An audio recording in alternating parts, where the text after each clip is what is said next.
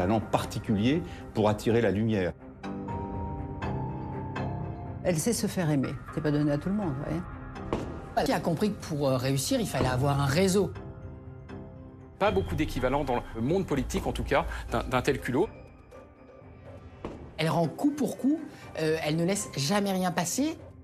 Il y a les tontons flingueurs et elle est une tata flingueuse, quoi. Quand elle va vous en coller une, vous, elle vous prévient et vous allez la voir arriver. Je reçois un coup de téléphone, mais furibard, et le mot est faible. Et donc elle me dit, euh, vous avez rompu le pacte, et donc je vais lâcher les chiens.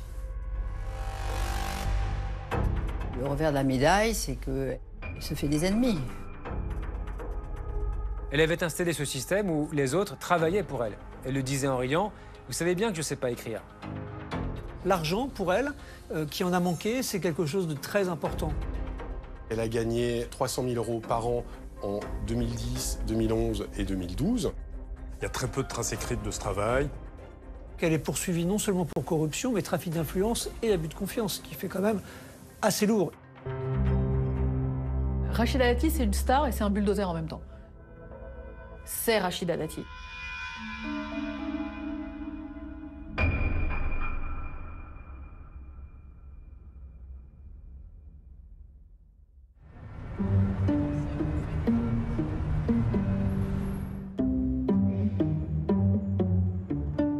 Rachida Dati, c'est une usine à punchline. Cette présence est aussi anecdotique que votre score à l'élection présidentielle d'1,7%. Oui, ça fait mal. Euh, et je pense que ça se travaille pas du tout. Je pense qu'elle est vraiment comme ça. J'allais même dire, elle a un don. 1,7%. 20 000 voix. Bah oui, 20 000 voix. Eh oui. Eh oui, ça fait mal. Elle arrive à, capter euh, quelque chose qui est dans l'air, à définir euh, quelqu'un de manière parfois cruelle en un mot ou en une phrase. Et ça, ça ne s'invente pas. C'est exactement comme la répartie. Vous pouvez couvrir, non mais plus vous allez couvrir, je vais le répéter, 1,7%. 1,7%. Vous avez convoqué la presse pour qu'il y ait un show. Voilà, vous êtes, messieurs, mesdames, les journalistes, convoqués au Dati Show. Depuis ce matin, je reçois des messages. Alors, alors, alors, le Dati Show. Un Dati Show qui peut faire sourire. Mais en coulisses, son côté cash peut prendre une tournure plus brutale. Rares sont ceux qui acceptent d'en parler. Agnès Buzyn l'a découvert lors des élections municipales de 2020 à Paris. Elle est alors la candidate de la Macronie. Face à elle, Rachida Dati représente les Républicains. Rachida Dati euh, a dit euh, clairement il y aura un pacte de non-agression entre nous. Et c'est très drôle parce que ce pacte de non-agression, il a été rompu le lendemain matin. Euh, Stanislas Guérini, qui était à l'époque sur ma liste et qui était député de Paris et secrétaire général du parti, avait répondu un interview en disant que nous ne ferions pas alliance avec Rachida Dati car nous n'étions pas sur la même ligne progressiste.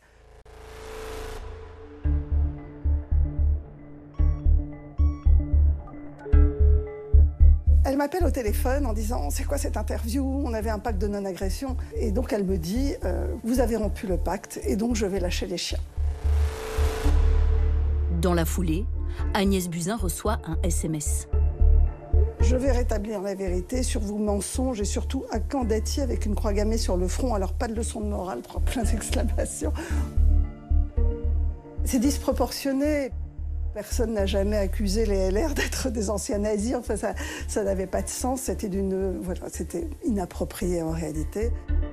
Rachida Dati fait également pression en relayant une conversation qu'elle a eue avec le secrétaire général de l'Élysée. Je viens d'avoir une longue conversation avec Alexis Colère, il tente de rattraper le coup, voilà pour mémoire. Pour mémoire, et si vous voulez gagner Paris et que ce ne soit pas un chemin de croix, et pour Madame Buzyn, et pour En Marche, et pour Emmanuel Macron, retrait de la liste sur le 11e, machin, fusion de liste, enfin, elle réclame tout un tas de trucs, euh, elle a la liste des courses. bonjour, bonjour. Je sais pas qui est qui. Edouard Philippe, notamment, m'avait prévenu que Rachida Dati en campagne, c'était compliqué. Ça marchait pas dans la flaque, là? Elle met beaucoup de pression sur tout le monde, avec beaucoup d'agressivité.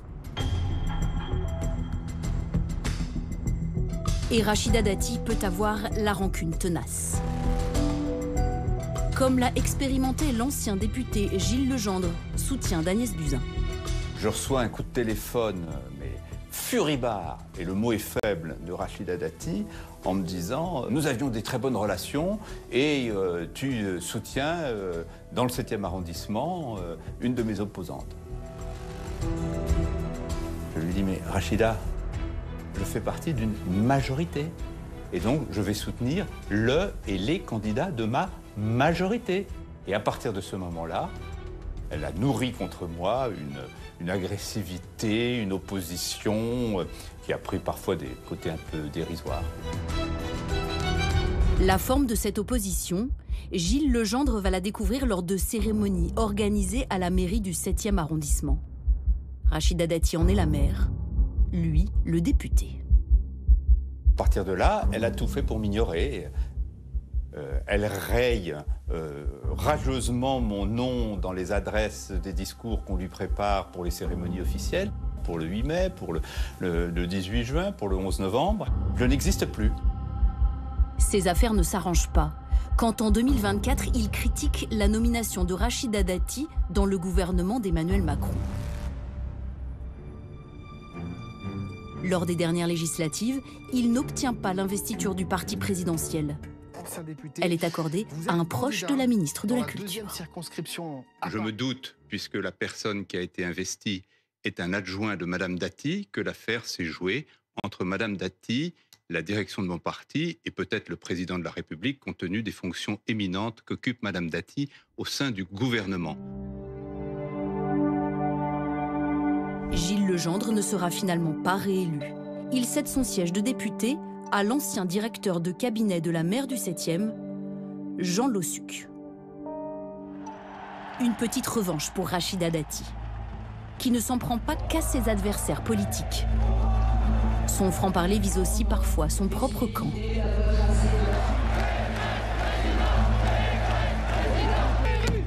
Comme lors de la dernière élection présidentielle, quand la campagne de Valérie Pécresse ne décolle pas. Je suis cette femme française indomptable. Rien ne m'arrêtera. Rachida Dati n'hésite pas à critiquer la stratégie de la candidate dans la presse. Il est clair qu'il faut ouvrir une seconde étape dans cette campagne, celle de l'incarnation qui parle à tous les Français. Ah, elle, elle l'a dit. Les autres, ils allaient au premier rang du meeting. Ils faisaient Oh, bravo Oh, Valérie, que- qu'est-ce que tu étais extraordinaire Oh, mais là, ça va, ça va renverser la table. Bravo, Valérie, bravo Et puis en même temps, ils envoyaient des SMS aux journalistes pour dire La pauvre Valérie, c'est nul, même la musique part pas à temps, etc. Rachida, elle n'est pas comme ça. Elle vous le balance. Ah ouais, ouais, c'est sûr que ça fait un ovni en politique. Ces attaques visent notamment Patrick Stefanini, Bonsoir Patrick Stefanini. Bonsoir. Merci d'être là également. le directeur de campagne de Valérie Pécresse.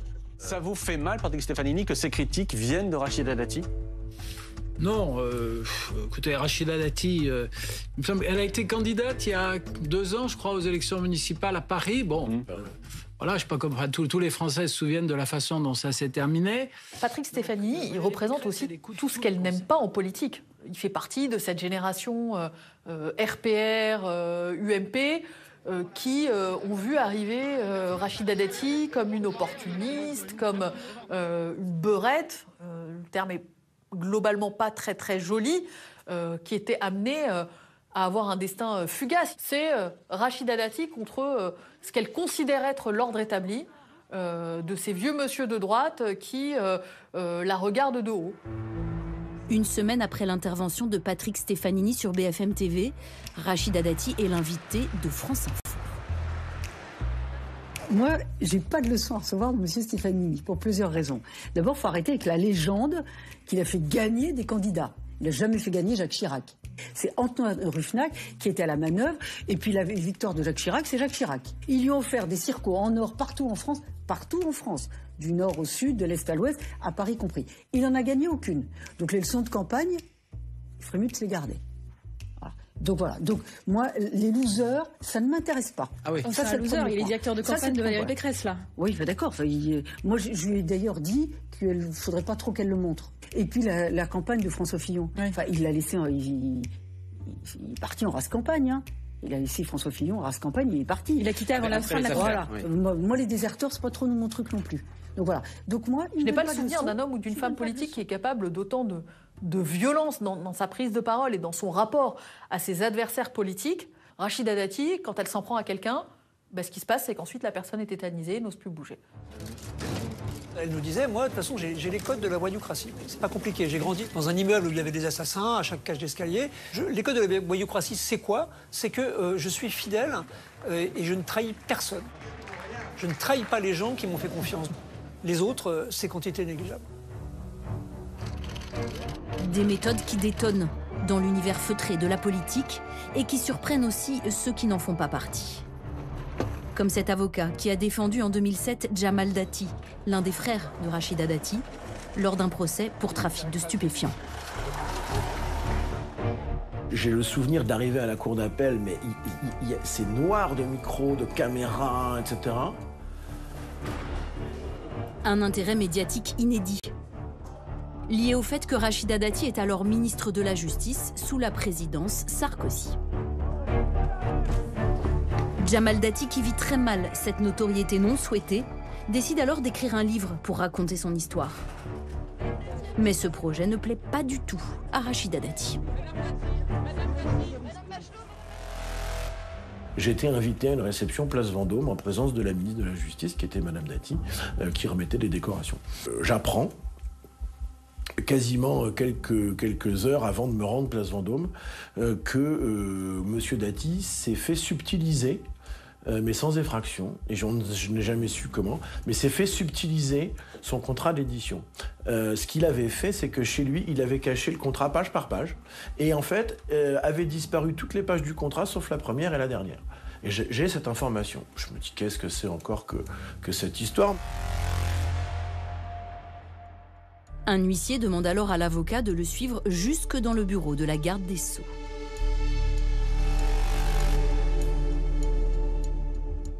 Et là,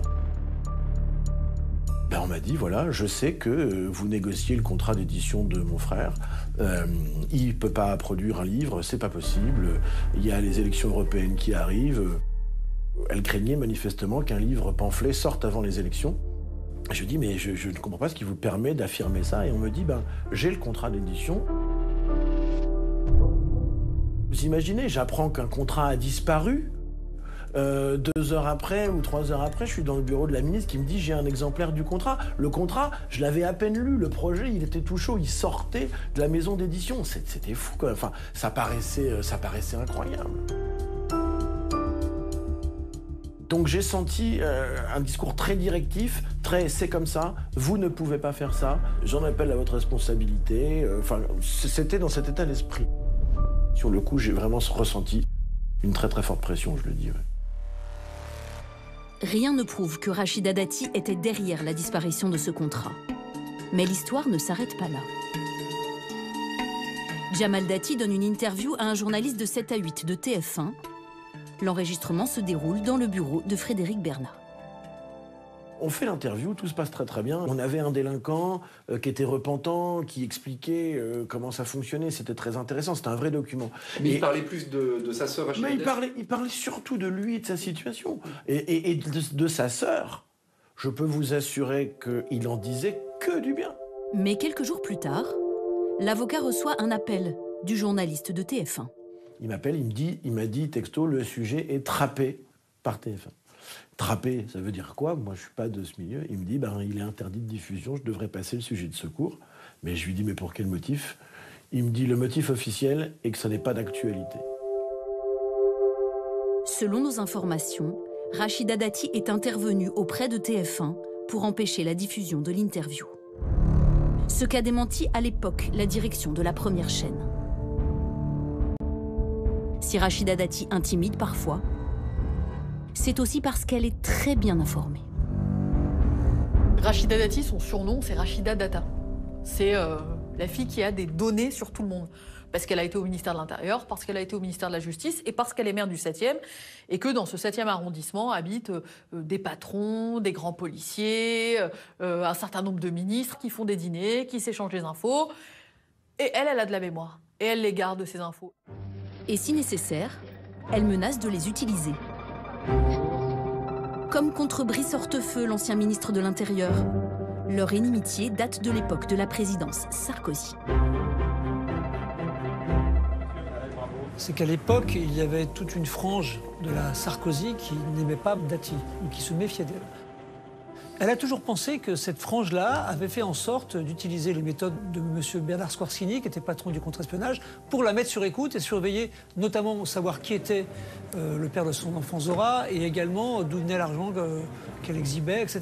Elle a toujours pensé qu'elle le devait à Hortefeux, qui a été ministre de l'Intérieur, et euh, ceci explique euh, cet antagonisme. Dans un SMS, révélé par Mediapart, qu'elle envoie à Brice Hortefeux en septembre 2013, elle évoque certaines affaires dans lesquelles il serait impliqué. Salut le facho. Je vais dénoncer l'argent liquide que tu as perçu pour organiser des rendez-vous auprès de Sarko lorsqu'il était président. Des relations tout aussi liquides que tu as eues avec Takedine, l'emploi fictif de ton ex à la caisse d'épargne. Alors maintenant, je te préviens très fermement. Tu me fous la paix. Je ne te lâcherai pas, espèce de voyou.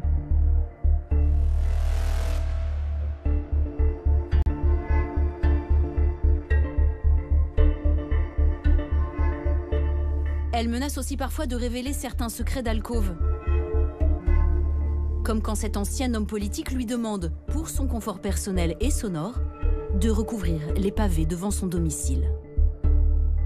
Quand euh, on va lui demander euh, de refermer une route parce que c'est gênant pour le bruit, elle va dire Coco, euh, m'embête pas trop avec tes demandes parce que je sais que par ailleurs tu as une garçonnière. Ces données qu'elle a, ces informations qu'elle a, c'est une monnaie d'échange aussi. Et c'est une arme de pouvoir. Pour obtenir ces informations, elle a un don, un sens inné du contact, comme l'a constaté ce collaborateur qui a travaillé avec elle au cabinet de Nicolas Sarkozy quand il était ministre de l'Intérieur en 2002. Il a souhaité conserver l'anonymat. Rachida, elle a un talent pour entrer dans la vie des gens. Les secrétaires recevaient des cadeaux, elle parlait avec les chauffeurs, avec la sécurité. L'intérêt pour elle, c'était d'avoir des éléments d'emploi du temps, euh, de connaître l'humeur des uns des autres, de savoir qui connaît qui, qui est fâché avec qui, qui soutient qui, qui fait quoi. Plus de 20 ans après ses débuts en politique, Rachida Dati occupe toujours le devant de la scène. Ah, superbe.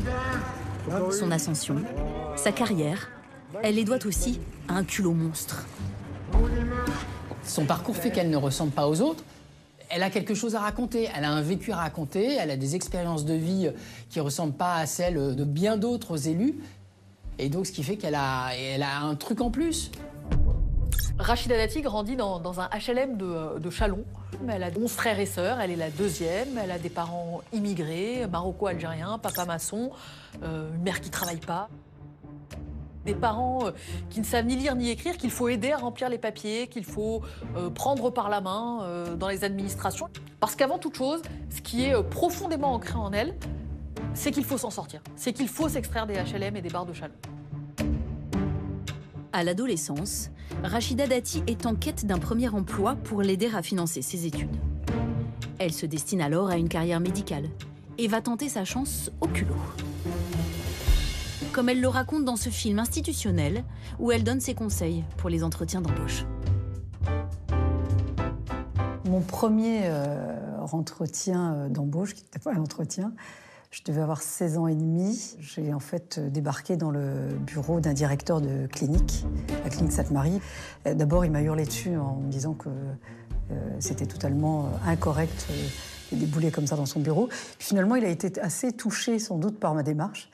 Et puis il m'a dit, mais qu'est-ce que vous voulez faire Euh, Qu'est-ce que- vous savez faire? Moi, je dis, écoutez, je sais tout faire et euh, j'aimerais juste travailler. Le directeur décide de lui tendre la main. Rachida Dati va apprendre sur le tas le métier d'aide-soignante. Quand elle ne travaille pas, elle s'informe en dévorant les journaux.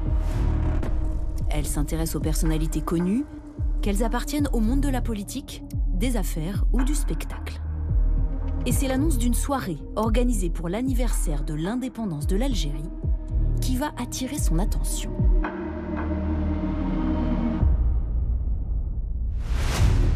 La soirée se déroule à l'ambassade.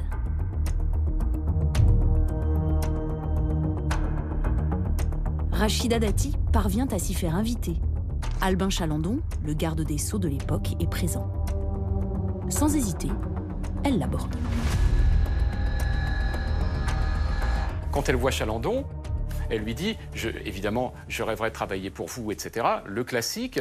Chalandon lui répond, bah, écoutez, euh, oui, bah, appelez mon bureau lundi et on verra ce, qu'il en est. Elle dit, ah bah non, non, non, je sais très bien que si j'appelle votre bureau, personne ne me rappellera jamais. Donc comment on fait Est-ce que vous voulez vraiment me, revoir? Oui, oui, d'accord. Et donc elle, arrive à lui extorquer, entre guillemets, son adresse privée. Ensuite, elle lui écrit à son, à son adresse privée et voilà, le lien, le lien est né.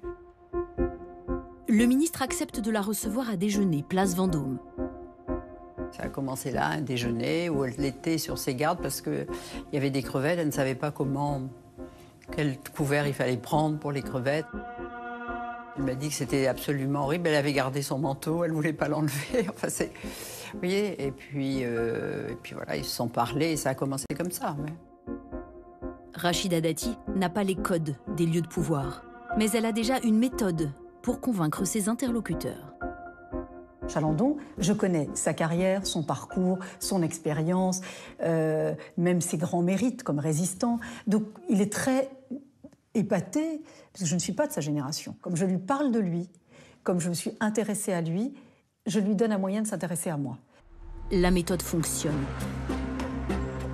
Le ministre de la Justice lui trouve un emploi de comptable chez le géant pétrolier Elf dont il a été président.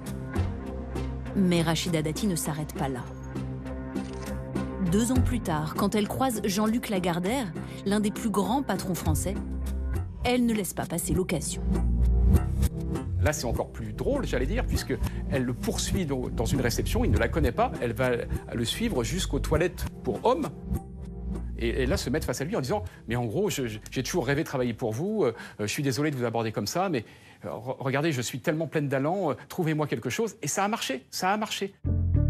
Cette fois-ci, elle est embauchée chez Matra Communication, l'entreprise de Jean-Luc Lagardère, pour faire de l'audit. Ce don pour forcer les portes, ce producteur de télévision l'a constaté. Il l'a vu débarquer dans son bureau, sans prévenir, pour demander des cassettes VHS d'une émission que sa mère affectionnait. Vraiment, déjà, pour trouver mon bureau, même quand vous bossiez Antenne 2 à l'époque, c'était difficile. Et un tac, tac, tac, euh, une petite jeune fille, une petite boule de nerfs, une petite brunette. Bonjour, monsieur Meptoul. Oui. J'ai dit, comment vous avez trouvé pour le bureau? Elle m'a dit, vous savez, je suis débrouillarde. Elle a un esprit de. Elle, doit rechercher, je ne sais pas comment elle fait, mais en tous les cas, elle réussit à atteindre son but à chaque fois. Rachida Dati construit petit à petit son réseau. Simone Veil va la prendre sous son aile et va lui conseiller de s'orienter vers la magistrature.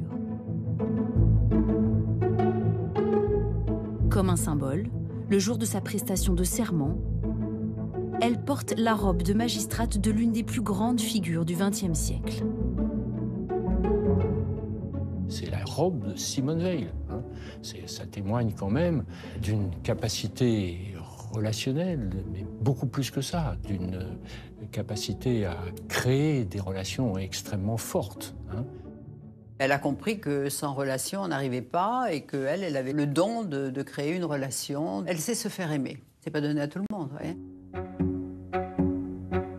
Pour convaincre, Rachida Dati n'hésite jamais à raconter son histoire personnelle et familiale.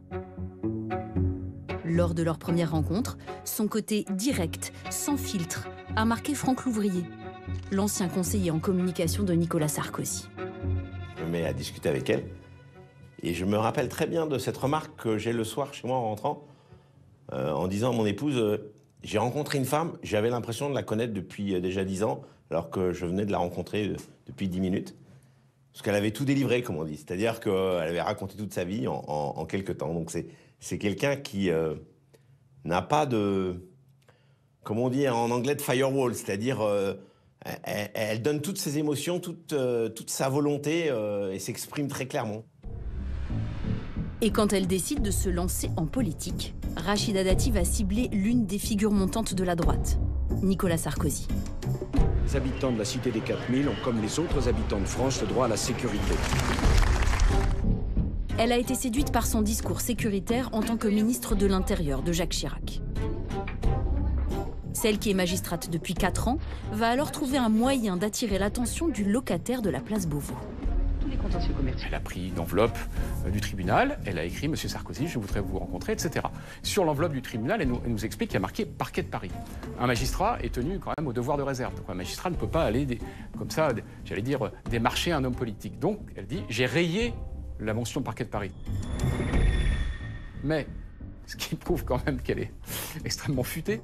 Elle a rayé, mais pas totalement, de manière à ce qu'on voit quand même parquet de Paris. Elle a dit, comme ça, la secrétaire de Sarkozy, je savais qu'elle verrait quand même que ça venait du parquet de Paris. Donc ça va attirer son attention. Ça va pas passer à la corbeille comme toutes les lettres que reçoit Sarkozy. Et de fait, ça a marché. Je vous regarde.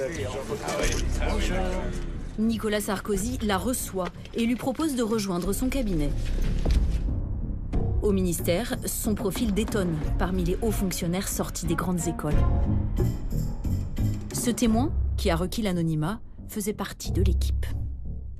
À son arrivée, personne ne la connaissait, à tel point que le ministre lui-même écorchait son nom quand il s'adressait à elle. Vraiment, c'était un, un ovni total. Elle découvre le fonctionnement d'un cabinet ministériel. Et son attitude est parfois désinvolte, selon ce collaborateur. Tout l'étage où Rachida était installée constatait qu'elle disparaissait souvent. On la cherchait pour le travail et elle n'était pas toujours là. Euh, on n'a jamais su où elle était d'ailleurs.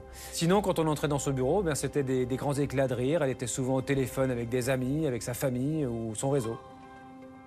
Elle ne voulait pas ou ne savait pas constituer de dossier, ni faire une note ou rédiger un discours. Et donc, elle s'est appuyée sur les autres. Elle avait installé ce système où les autres travaillaient pour elle. Elle le disait en riant Vous savez bien que je ne sais pas écrire. Vous savez, le rire, c'est une arme redoutable parce qu'on est dans des milieux où on ne rit pas beaucoup. Donc, euh, quand vous avez quelqu'un qui a l'air de transgresser sans arrêt cette règle, qui rit, euh, qui est chaleureuse, qui vous raconte euh, des anecdotes, euh, ben forcément, ça crée euh, chez une partie des gens, pas chez tout le monde, mais ça crée une véritable sympathie, un attachement. voilà, c'est le mot. On la trouve attachante. Rachida Dati cherche-t-elle alors à masquer certaines faiblesses? Serait-elle mue par sa seule réussite personnelle? On va voir après. Ah Il faut bon. attendre l'élection. Bon, bah, il faut croiser les doigts alors. Ouais. hein. Elle dénonce un mépris de classe. Quand il s'agit de quelqu'un qui est d'une bonne condition, d'une bonne ascendance, qui a fait les grandes écoles, euh, avoir un réseau, c'est plutôt une qualité. Moi, je le vois quand on fait des portraits, par exemple, de grands patrons, en disant ce patron, excellente compétence, grande expérience, très bon réseau. C'est dans les points positifs. Et quand il s'agit d'une personne comme moi, c'est en négatif. Et là, on dit c'est une intrigante, euh, elle a séduit. Non, j'ai convaincu. Madame Rachida Dati, garde des Sceaux, ministre de la Justice. Cette personnalité inclassable et pugnace veut s'inscrire dans la durée. En 2007, Rachida Dati devient garde des Sceaux du président Nicolas Sarkozy. Le président de la République m'a confié une grande mission par ce geste très symbolique. Il me montre sa confiance à une femme que je suis, prête à relever des défis. L'année suivante, celle qui est issue d'un quartier populaire conquiert le très riche 7e arrondissement de Paris, où elle sera réélue deux fois. Être élu, euh, ce n'est pas comme une nomination, donc euh, ça vous donne aussi une autre dimension et un autre sens. Faire une ovation à la ministre de la Culture, quand même. Un parcours qui lui vaut une forte popularité parmi toutes les catégories de Français. Et encore aujourd'hui, comme ministre de la Culture. Et Rachida, c'est une star en politique. Elle va quelque part, de la petite mémé en manteau de fourrure Merci. jusqu'à la maman euh, d'origine maghrébine. Les deux côte à côte qui se sont jamais parlé de leur vie, qui évoluent toutes les deux dans des mondes parallèles.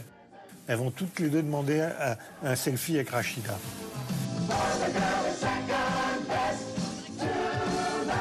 Rachida Dati, notre ministre de la Culture, qu'on peut applaudir très fort. C'est un grand honneur pour nous. C'est une star.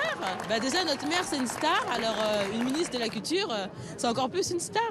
C'est une femme euh, qui a du charisme, qui fait partie du gouvernement. Donc, et elle est très belle aussi, voilà. Et elle est en fait sociable, elle est naturelle. Donc, on peut l'aborder sans problème. Donc, euh, Deux, trois, Être un modèle pour, euh, pour toute la jeunesse, euh, pour toutes les femmes qui ont envie de, de réussir et d'aller euh, toujours plus loin. Un symbole, un exemple de réussite, qui cache aussi une face plus sombre, des liens parfois troubles avec le monde des affaires.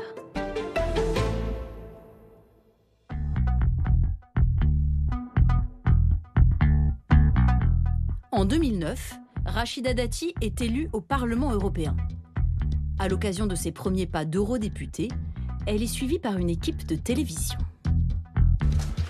Dans les couloirs, malgré son statut d'ancienne ministre, c'est une anonyme. Ce jour-là, l'ex-ministre de la Justice découvre Bruxelles et son univers plus aride. Il est 16h. Elle va profiter de sa première mini-pause après avoir enchaîné plusieurs débats techniques. Et quand elle découvre le reste de son planning, elle ne semble pas enchantée. Débat Edgefond, là C'est ça Non, c'est à 16h. Là, il y a les perspectives pour la 7e législature de la commission ECLA.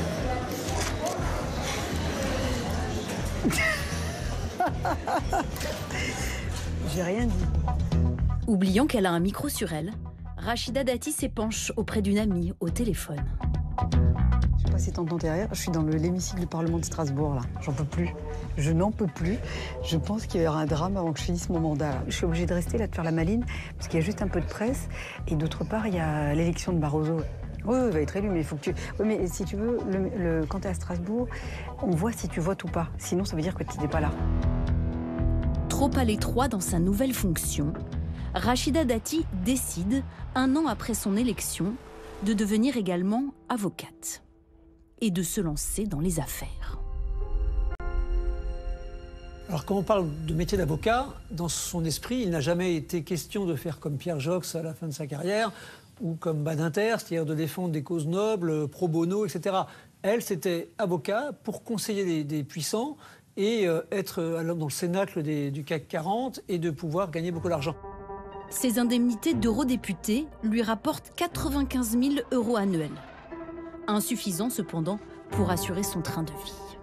Ça s'explique. C'est-à-dire qu'elle vient des milieux extrêmement pauvres et elle a par ailleurs euh, beaucoup de neveux, de nièces, de sœurs ou de frères qu'elle prend sous sa propre responsabilité. Et elle leur paye des choses. Et elle est tout le temps là pour eux. Et elle leur trouve des postes, etc. L'argent, pour elle, euh, qui en a manqué, c'est quelque chose de très important. À partir de 2010, Rachida Dati va exercer son activité d'avocate dans la plus grande discrétion, jusqu'à ce qu'un séisme bouleverse le monde de l'automobile. Cette déflagration, c'est la chute de Carlos Ghosn, le puissant et très médiatique patron de Renault-Nissan, soupçonné de fraude fiscale. Son arrestation au Japon fait la une de tous les journaux. L'arrestation d'un des patrons les plus célèbres au monde. C'est Carlos Ghosn, PDG de Renault-Nissan, arrêté au Japon pour fraude fiscale. La nouvelle direction du constructeur automobile lance alors un audit interne. En regardant les comptes, eh ben, ils vont s'apercevoir que Rachida Dati, parmi d'autres, a touché de l'argent qu'elle a gagné euh, 300 000 euros par an en 2010, 2011 et 2012. Une rémunération prévue par une convention d'honoraires dont nous avons pris connaissance, signée en 2009 entre Carlos Ghosn et Rachida Dati. Sur trois ans, pour les 900 heures de travail prévues, Rachida Dati a touché 900 000 euros, soit 1000 euros de l'heure. Cette convention d'honoraires, elle a été rédigée en 2009. Euh, on est en 2024 et encore aujourd'hui, un avocat qui travaille avec un taux horaire de 1000 euros de l'heure, ils sont vraiment pas nombreux, mais vraiment pas nombreux. Donc c'est vrai que c'est des- c'est c'est un taux horaire extrêmement élevé et donc qui a, qui a- qui a beaucoup surpris. Quelle était la mission confiée à Rachida Dati par Carlos Ghosn en échange de sa rémunération? La convention d'honoraires prévoit qu'elle doit assister le PDG, dans la détermination de la conduite de la politique d'expansion internationale du groupe, notamment dans les pays du Moyen-Orient et du Maghreb. Il est aussi prévu que Rachida Dati envoie chaque année un rapport d'activité. Mais la mission d'audit commandée par Renault-Nissan, dont nous avons vu les conclusions, constate. Nous n'avons trouvé aucun document de ce type dans les archives. Après la plainte d'une actionnaire de Renault-Nissan, la justice va se saisir du dossier. Les enquêteurs vont demander à Rachida Dati les preuves de son travail. Or, c'est là le, le, gros problème de Rachida Dati dans cette affaire précise, c'est qu'elle n'arrive pas à, à fournir ces documents, ou en tous les cas, ils sont absolument insuffisants aux yeux des enquêteurs. Et évidemment, pour la justice, le doute, c'est que, ou la conviction plutôt, c'est qu'elle n'arrive pas à fournir ces éléments parce qu'ils n'existent pas et parce qu'ils n'ont jamais existé. Contactés, ni Rachida Dati, ni ses avocats n'ont souhaité nous répondre. Ils ont expliqué auparavant que Carlos Ghosn ne voulait pas d'écrit. Mais souhaitait que Madame Dati participe à des réunions avec lui et son staff. Apparemment, c'était courant avec Monsieur Ghosn. Rachida Dati affirme aussi qu'elle serait notamment intervenue pour faciliter l'installation et le financement d'une usine du groupe automobile au Maroc. Entendus par les enquêteurs, plusieurs cadres de Renault en charge de ce pays ont fait part de leur surprise. Cela me paraît peu probable que Rachida Dati soit intervenue au Maroc sans que j'en ai connaissance. Je n'ai jamais vu passer d'écrit mentionnant son nom et un rôle spécifique qu'elle aurait tenu dans les négociations au Maroc. Carlos Ghosn lui-même dit qu'il l'a embauché pour faire de la diplomatie des affaires et pas pour être une avocate. On a l'impression qu'il a pris Rachida Dati pour être une sorte d'intermédiaire, une sorte de représentante. Il ne faut pas oublier qu'elle sortait du ministère de la Justice, elle venait d'être ministre. Elle est allée un peu partout en tant que ministre du président Nicolas Sarkozy. Et donc c'est valorisant. Donc on dirait qu'il a pris une espèce de figure politique qui va peut-être l'ouvrir des portes, euh, qui va l'introduire dans certains cénacles. Rachida Dati a-t-elle été rémunérée pour contribuer au développement international de Renault-Nissan a-t-elle œuvré en tant que lobbyiste pour le constructeur automobile auprès du Parlement européen Le règlement du Parlement européen interdit toute activité de lobbying et le règlement du Parlement européen oblige également un député européen à faire état de ses potentiels conflits d'intérêts avant d'intervenir sur un sujet. D'après le calcul des enquêteurs, Rachida Dati est intervenue à 19 reprises en séance plénière sur des questions automobiles. Certaines de ces interventions, comme cette question écrite sur le niveau sonore des véhicules, interrogent. Et on se rend compte euh, que cette question, euh, qu'elle va poser sous sa signature dans le Parlement européen, elle est passée auparavant euh, dans l'ordinateur de la secrétaire de Carlos Ghosn. Donc comment ça se fait qu'un industriel de la voiture a eu en main une question d'une députée européenne avant qu'elle soit posée au Parlement européen Là, il y a un vrai mystère. Son avocat réfute tout lobbying. Selon lui, Rachida Dati n'est jamais intervenu en faveur de Renault au Parlement de Strasbourg. Tout était transparent, que ce soit du côté de Renault, avec les commissaires aux comptes, ou de son côté, puisqu'elle a déclaré ses sommes à la haute autorité pour la transparence de la vie publique. Dans cette affaire, Rachida Dati est mise en examen pour corruption et trafic d'influence passif.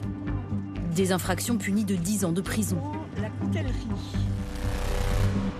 Mais Renault serait-il le seul client de Rachida Dati qui pose problème? Au Parlement européen, ce député vert allemand s'est penché sur la question. Il a conservé toutes ses notes de l'époque. Il a participé en 2014 à une pré-enquête demandée par le président du Parlement sur les nombreux amendements déposés par Rachida Dati dans le domaine de l'énergie cette fois. On s'est aperçu que les amendements qu'elle déposait sur différents textes législatifs étaient toujours, et de façon suspecte, en faveur des intérêts pétroliers et gaziers, et très critiques sur les énergies renouvelables.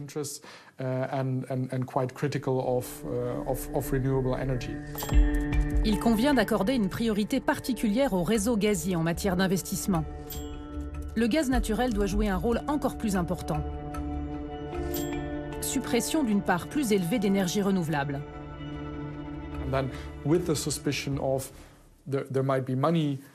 Si jamais il était avéré qu'elle avait comme client des industriels qui la rémunéraient en échange de ses amendements, alors elle aurait de façon certaine enfreint les règles du Parlement européen.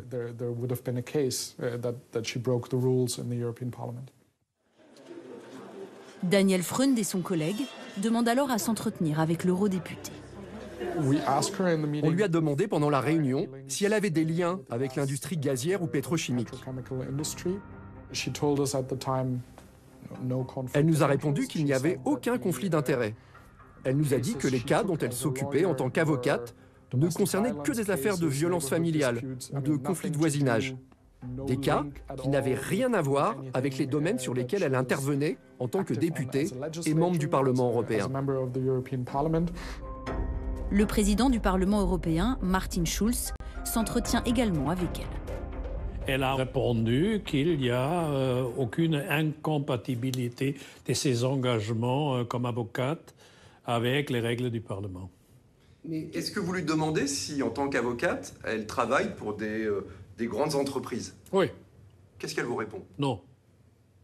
La réponse était non.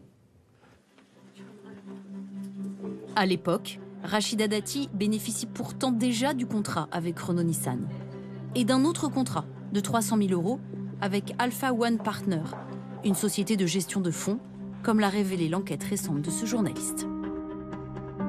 C'est des fonds qui ont le nom d'énergie euh, dans, leur, dans leur dénomination. Donc on sait que c'est une société qui a notamment euh, une expertise dans le secteur énergétique.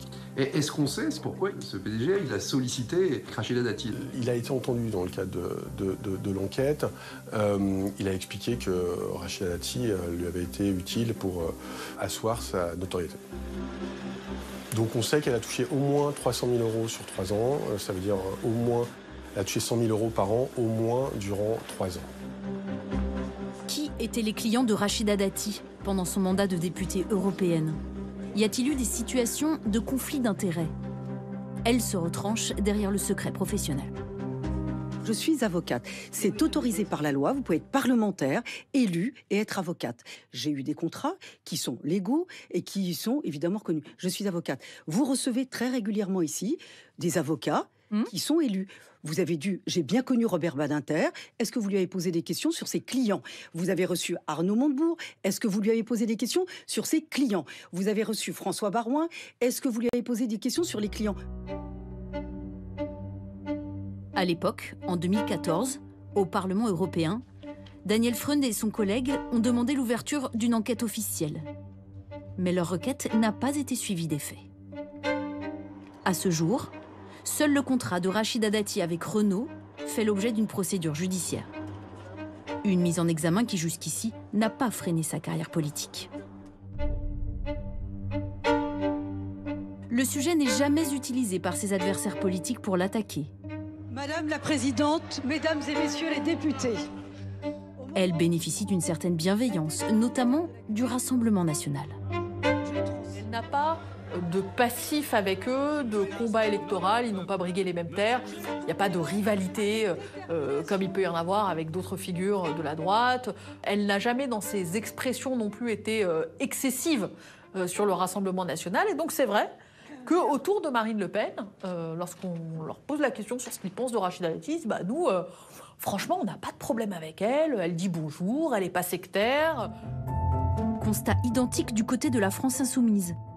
Les personnes qui souhaitent aller voir le débat, Rachida Dati, Hugo Bernalicis. Qu'il invite même à son université d'été. Non mais euh, la a- réponse, elle va ça- venir. Enfin, on va pas faire. euh, Je suis pas aux ordres. hein, Je suis aussi insoumise. Je suis aussi insoumise. Et puis de temps en temps, elle balance en interview que finalement, elle aime bien leur radicalité, sans partager euh, leurs idées. Mais il se trouve que, y compris les insoumis, euh, l'adorent. Oui. Est-ce que je peux taper une photo avec vous Taper une photo. Prendre une photo. Une photo. Taper une photo. Je vais me mettre comme ça. pour paraître un peu Vas-y, plus tape. grand. Ah, vas-y, tape. Oui, ça lui offre une forme de, de protection absolue qui fait que aujourd'hui, personne véritablement ne va la chercher, euh, soit sur des éléments de sa politique euh, qui euh, pourraient euh, frotter avec euh, ce que propose la gauche ou ce que propose le Rassemblement national, ou même sur les affaires de justice. Dans l'affaire Renault, l'actuelle ministre de la Culture reste présumée innocente et espère bénéficier d'un non-lieu. L'insubmersible Rachida Dati s'est déjà fixé un nouveau défi, la conquête de la mairie de Paris en 2026.